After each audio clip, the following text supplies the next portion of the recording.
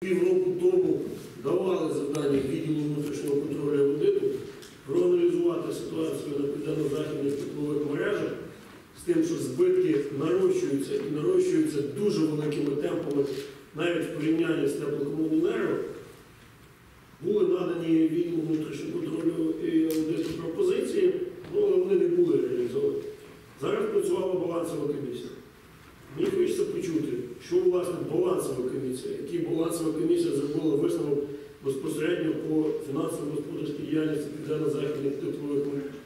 Чого така велика різниця? Чого такі великі темпи збитків навіть в порівнянні з теплокомуненергією? Якщо послатись на тариф, є різниця в тарифі між двома підприємствами, але вона мінімальна. Говорити про те, що є значна частина е, різних клієнтів. По теплокомуненерго більше, скажімо так, клієнтської бази складають бюджетні установи більше, ніж південно-західних теплових мереж.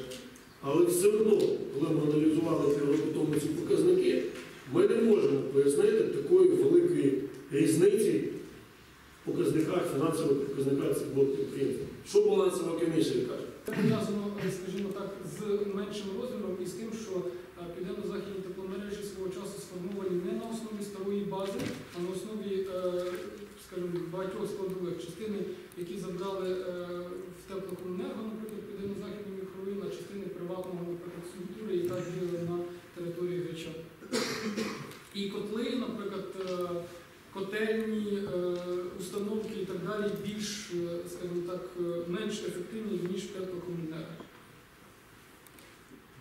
Я би тоді хотів, щоб ми протокольне доручення записали, записали, якби у нас балансова комісія працювала безпосередньо з південно-західними тепловими мережами окремо, напрацювала пропозиції стосовно зменшення збитковості. Що в нас далі так будуть відбуватися події, ми будемо змушені приймати інші управлінські рішення. І цілком можливо об'єднувати ці підприємства в одне з адміністративним управлінням моїх теплокомуненерго.